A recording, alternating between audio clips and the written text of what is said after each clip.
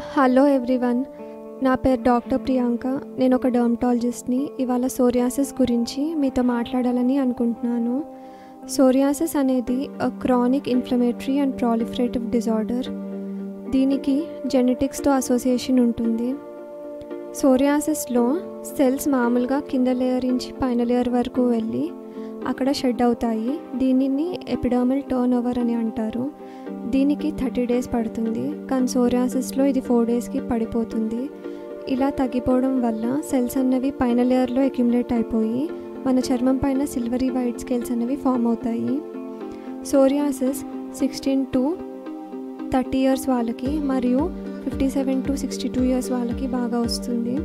స్త్రీలు పురుషులు ఇద్దరు ఈక్వల్గా ఎఫెక్ట్ అవుతారు.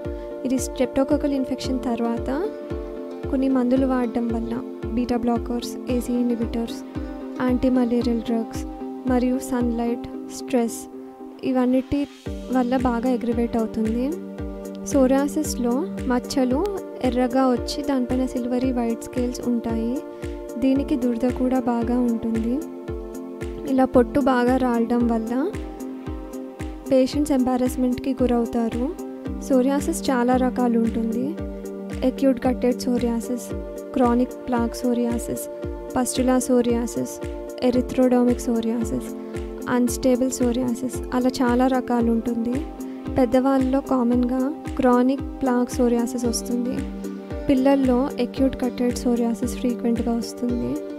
సోరియాసిస్లో మచ్చలు కామన్గా మోకాలకి ఎల్బోస్కి మరియు బ్యాక్ పైన కామన్గా వస్తాయి. స్కాల్ప్ కూడా ఇన్వాల్వ్ అవ్వచ్చు. సోరియాసిస్ చాలా రోగాలతో అసోసియేట్ అయి ఉంటుంది. Liver disease heart attack metabolic syndrome gout ఇవన్నీ సోరియాసిస్కి అసోసియేట్ అయి ఉంటాయి. బరువు బాగా ఉన్న వాళ్ళు సోరియాసిస్ ఎన్ని మందులు వాడినా సరిగా రెస్పాన్స్ ఉండదు. సోరియాసిస్ వీళ్ళలో సివియర్గా కూడా ఉంటుంది.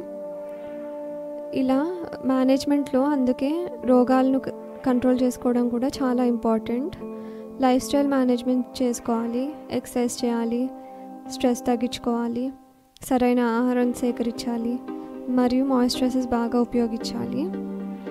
ఇంకా సోరియాసిస్ ఎక్స్టెంట్ బాగా ఉంటే సో డర్మటాలజిస్ట్ దగ్గరికి వెళ్తే వాళ్ళు మంచి మెడిసిన్స్ ప్రిస్క్రైబ్ చేస్తారు. ఇంకా ఇలాంటి విషయాలు తెలుసుకోవడానికి నా ఛానల్కి సబ్స్క్రైబ్ అవ్వండి.